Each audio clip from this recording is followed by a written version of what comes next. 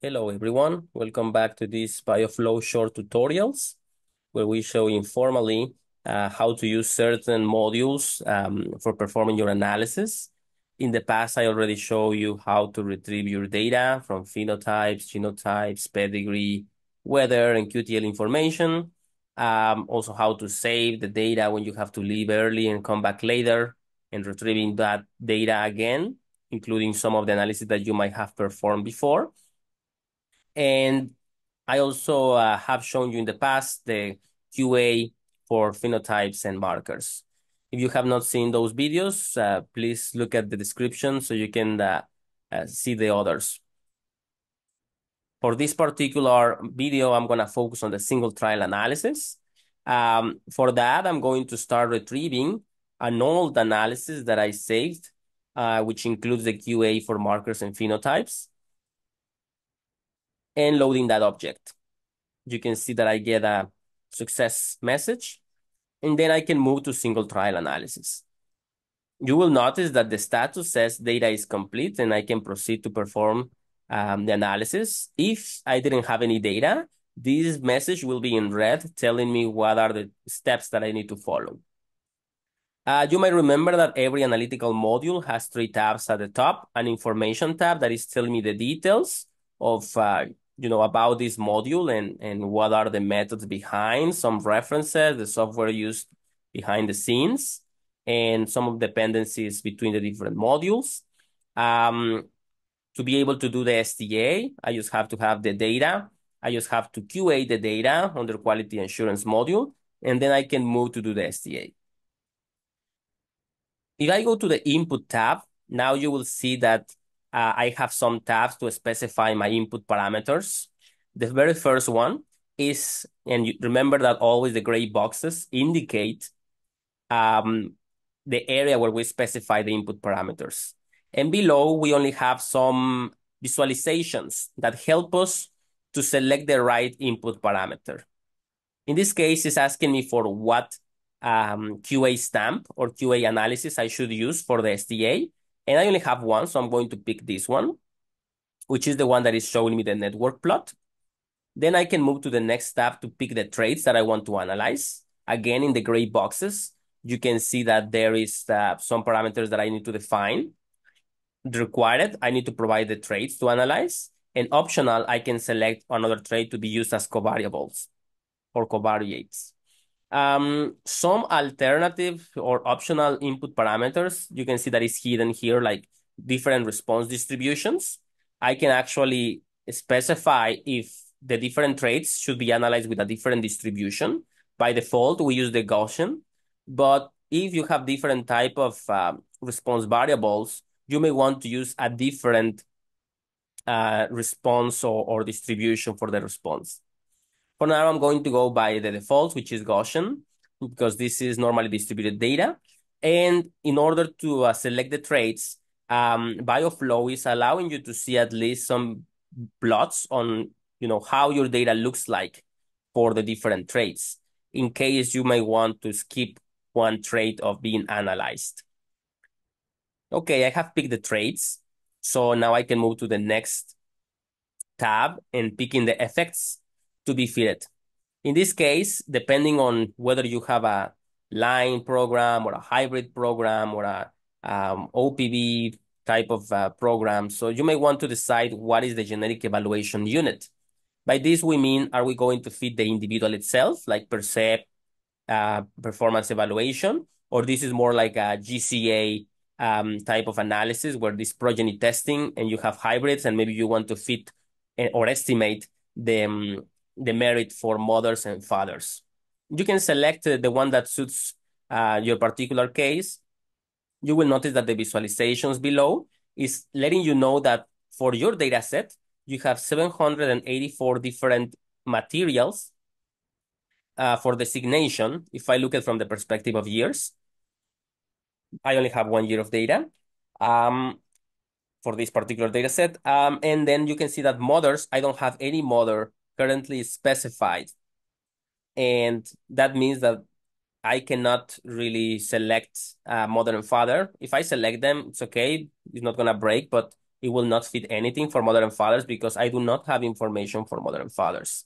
And also let me see um, another um, table for the experimental design for the different environments. That way I can see that for the different environments that I have in my data set, I have two reps and I have different number of blocks because these are experiments that have different sizes.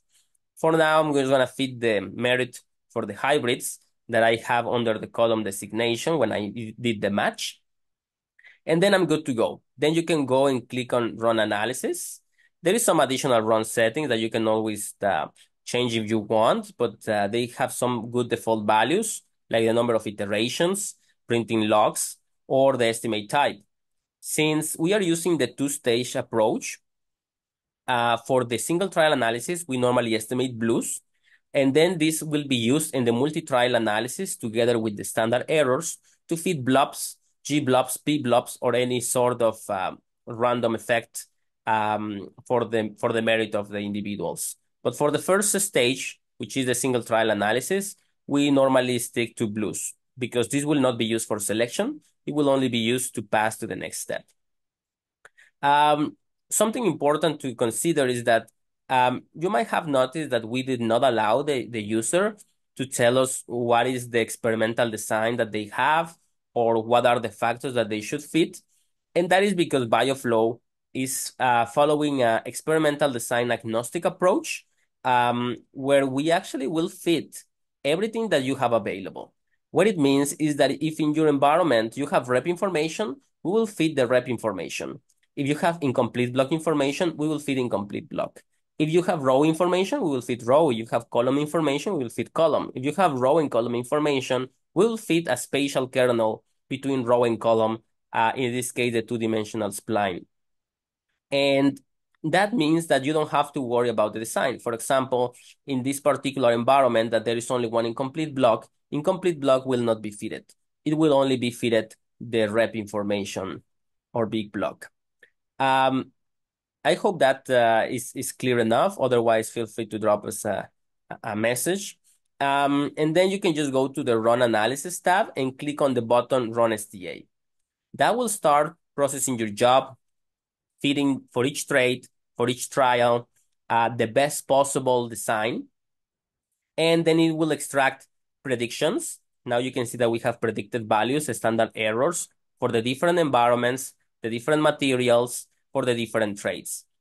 Um, we also have some associated metrics like plot heritabilities, coefficient of variation, reliabilities, genetic variance, residual variance, means for each environment for each trait. We also keep track of the uh, models that were fitted. Uh, you can see that it can be different depending on the on the different trait and different environment you can see that different environments and different traits might have a different formula because for some environments, maybe rep and incomplete block was meaningful, so it was fitted. But some for some others, maybe only incomplete block had a variance component greater than zero, so only that one is fitted. Um, like the rest of the modules, you also have a dashboard that allows you to visualize the results, like, you know, for which environments uh, we had certain traits, uh, how many entries we have per environment and in this particular um, data set. Also some summary statistics, for example, for yield, you can see for the different environments, the value of the heritabilities, the value of the reliabilities, the coefficient of variation, and you can, can quickly identify some environments that did not have enough genetic signal and should be um, probably excluded from procedure analysis. You can also see, you know, proportions of uh, of variance. For example, for yield, you can see that um, in this particular environment, 2021 NYH3, uh, 39 was, or 39% of the genetic, uh, sorry, the total variance was genetic, uh, and 60%, close to 61% was residual. And then you can see the same for the different environments. Um, this is in terms of proportion, but you can also see it in terms of um, actual value or magnitude. You can always select a different trait and have a different perspective. You can also look at the parameters in different ways. In a bar plot, for example, we can look at the reliabilities for the different environments and colored by traits. you can also get the predictions table in wide format for the different traits and for specific environments. As I mentioned before, we don't expect that you use this for selection decisions until you wait for the multi-trial analysis to be done. But this um, report uh, and this analysis for STA can give you an idea of how the data looks like, the quality, etc. You can see also, you know, the distribution of the predicted values after the analysis for the different environments. Um, and, and, you know, we are using the Plotly library, so you can create some dynamic visualizations. You can also look at the correlation between the different environments uh, for the different traits. You can just go to the drop-down menu and select a different trait and see what was the, the correlation between those uh, estimates. As long as there is good connectivity, those estimates would make sense. And some information on the references uh, or the methods used for this module. Uh, same time with other modules, you can always just download this report or dashboard by clicking on the button for download dashboard, and you will receive an HTML on your downloads that you can always show to people even when you are disconnected from the application and show exactly the same things that we were looking at before um, in a, a very, you know, dynamic way with the Plotly library. And this can be extremely useful when you want to communicate in the advancement meetings. Um, and as, as before, um, you can always uh, just uh, save your analysis. Uh, you can see that you receive a new timestamp for that STA. And it's telling you that now you can proceed to the multi-trial analysis. But for now, I will uh, assume that, you know, you have to leave and you will have to save your data or your analysis. You can go to data management menu, click on save analysis. And then now I can call this one um, STA done. And you can see that the this particular data set um, has been analyzed with QA row, QA geno, and STA. And I just have to click on save. And um, an object with extension R data will be saved on your downloads. And you can always just uh, go and close the application and come back uh, to upload this object and continue where you stopped. Um, if you have any further questions about this module, don't hesitate to go to home, uh, about us section, contact that development tab, and send us a message uh, through the support desk.